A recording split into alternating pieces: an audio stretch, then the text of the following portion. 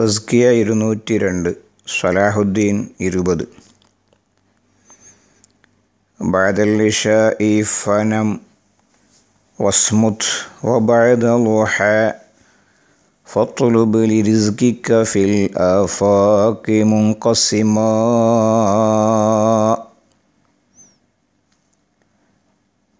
ഇന്നലെ പറഞ്ഞു സൂര്യോദയത്തിൻ്റെ ശേഷം ലുഹായുടെ സമയം വരെ.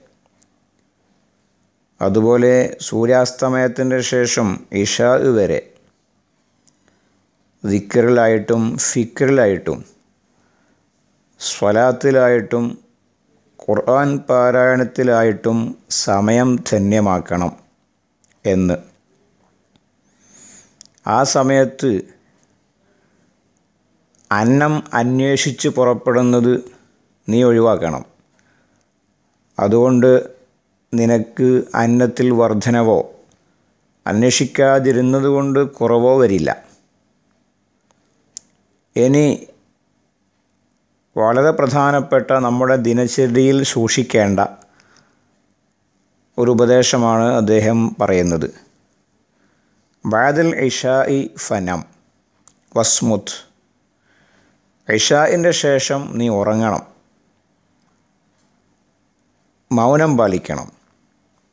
ഇഷാനസ്കാരം കഴിഞ്ഞാൽ പിന്നെ വേഗം ഉറങ്ങുകയാണ് വേണ്ടത്. ദുന്യവിയായ സംസാരങ്ങളൊന്നും പാടില്ല. അത് നിന്റെ ദീനിനെ കവർന്നെടുക്കുന്ന കാര്യമാണ്. പ്രവാസികളെ സംബന്ധിച്ചിടത്തോളം ഈ ഉപദേശം അതീവ ഗൗരവത്തോടെ കാണേണ്ടതാണ്. ഇഷാഇന്റെ ശേഷം ഉറങ്ങണമെന്ന് പറയുമ്പോൾ ജോലിക്കാർക്ക് സ്വാഭാവികമായി കഴിയില്ല. അതൊരു ഉദരായിട്ട് പരിഗണിക്കാം.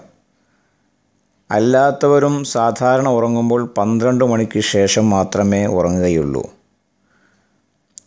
പന്ത്രണ്ട് മണിക്ക് ലൈറ്റ് ഓഫ് ചെയ്താൽ തന്നെയും നമ്മുടെ കിടപ്പറകളിൽ നക്ഷത്രങ്ങൾ ഉദയം ചെയ്യും. അഥവാ ഓൺലൈനിലും മറ്റ് സംവിധാനങ്ങളിലുമായി ഉറങ്ങുമ്പോൾ ഒരു മണി കഴിയും. ഇത് മതത്തിനും ആരോഗ്യത്തിനും ഹാനികരമാണ്. തഹജ്ജു നിസ്കരിക്കുന്നവർക്ക് വളരെ പ്രയാസം സൃഷ്ടിക്കും അത്. ഉറക്കം ഇത്രയും നീട്ടിക്കൊണ്ട് പോവുക വഴി ആരോഗ്യത്തെ സാരമായി ബാധിക്കുകയും ചെയ്യും. അതുകൊണ്ട് ഇസ്ലാമിന്റെ ഉപദേശമുണ്ട്. ഇഷ കഴിഞ്ഞാൽ പിന്നെ അനാവശ്യ സംസാരങ്ങളൊന്നും പാടില്ല. ദുന്യവിയായ സംസാരങ്ങൾ പാടില്ല. പെട്ടെന്ന് ഉറങ്ങുകയാണ് വേണ്ടത്.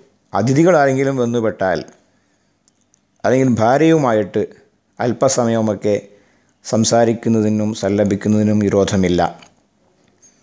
അതുപോലെ എൽമിയായ അറിവ് സംബന്ധമായ വിഷയങ്ങൾക്ക് അനിവാര്യമായ സമയമാണെങ്കിൽ അത് ഉപയോഗപ്പെടുത്താം. അല്ലാതെ ഇഷാന് ശേഷം സംസാരിക്കരുത്. ഇത് ഇസ്ലാമിന്റെ ഒരു ഉപദേശമാണ്. ഈ ഉപദേശം ഇന്ന് മുസ്ലിം സമുദായ സമുദായത്തിൽ കാണാത്തതുകൊണ്ട് നഷ്ടപ്പെട്ടു പോയതുകൊണ്ട് ജീവിതത്തിലെ ബറക്കത്ത് തന്നെ ഇല്ലാതെയായിരിക്കുകയാണ്. പ്രവാസികൾ ഈ വിഷയത്തിൽ ഉണർന്ന് ചിന്തിക്കേണ്ട ഒരു കാര്യമാണെന്ന് സാന്ദർഭികമായി ഓർമ്മപ്പെടുത്തുകയാണ്. ബാദൽ ഇഷ ഇ ഫനം വസ്മുത്ത് ഇഷാവിന് ശേഷം നീ ഉറങ്ങണം. മൗനം പാലിക്കുകയും വേണം. മഹാനായ സയ്യിദുന ഒമർ ബിൻ ഖത്താബ് റളിയല്ലാഹു തആല അൻഹു ഇഷാഇന്റെ ശേഷം സംസാരിച്ചിരിക്കുന്ന ഒരു ടീമിനെ കണ്ടപ്പോഴേ വടിയെടുത്ത് ഓങ്ങി അവരെ പിന്തിരിപ്പിച്ചു. അസുമ്രൻ മിൻ അവലിഹി വൻ ഓമം മിൻ ആഹിരി അത് ചോദിച്ചാണ്. രാത്രിയുടെ ആദ്യ ഭാഗം അഥവാ ഇഷാസ്കരിച്ച് കഴിഞ്ഞിട്ട് വർത്തനം പറഞ്ഞിരിക്കുക. അവസാനം കിടന്നുറങ്ങുകയും ചെയ്യുക. അത് ശരിയല്ല അത് മൂമിന്റെ സ്വഭാവമല്ല. നേരത്തെ ഉറങ്ങി നേരത്തെ എഴുന്നേറ്റ് തഹജ്ജുദ് നിസ്കാരത്തിൽ മുഴുകുകയാണ് വിശ്വാസിയുടെ ശൈലി എന്ന ഉപദേശമാണ് അദ്ദേഹം നൽകിയത്.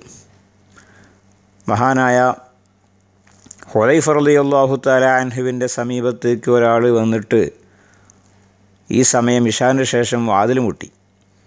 അദ്ദേഹം വാതിൽ തുറന്നു. അദ്ദേഹം ചോദിച്ചു നീ എന്തിനാ വന്നത്? ഞാനൊരു ഹദീസിന് വേണ്ടി വന്നതാണ്. അപ്പോൾ അദ്ദേഹം വാതിലടിച്ചു ഉപദേശിച്ചു ഇന്ന ഉമറ ജദബലന സമറ ബാദ സ്വലാത്തിൽ ഇഷായി.